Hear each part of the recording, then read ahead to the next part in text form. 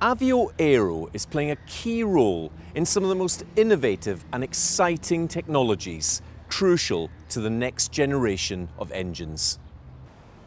The Pomigliano plant near Naples is the nerve centre of the advanced turboprop, GE's new power plant for regional aircraft and the first engine from the US manufacturer to be designed and produced in Europe. The entire engineering of the ATP, the brains of the engine, is located in Italy. As well as responsibility for the FADEC, the first time such engine management technology has been installed in a turboprop, Avio Aero produces the reverse flow combustor.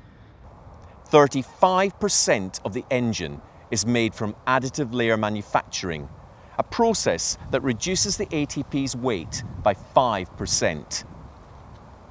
Avio Aero has long experience of combustors an expertise it is putting to use in its contribution to what will soon be the world's most popular engine, the CFM LEAP, and is ramping up production fast for the engine's entry into service.